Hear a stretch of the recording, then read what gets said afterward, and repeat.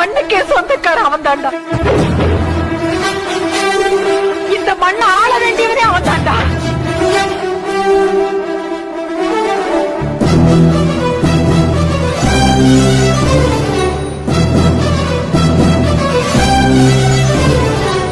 ஒருவன் முதலாளி உலகில் மற்றவன் தொழிலாளி விதியை நினைப்பவன் ஏமாளி அதை வென்று முடிப்பவன் அறிவாளி.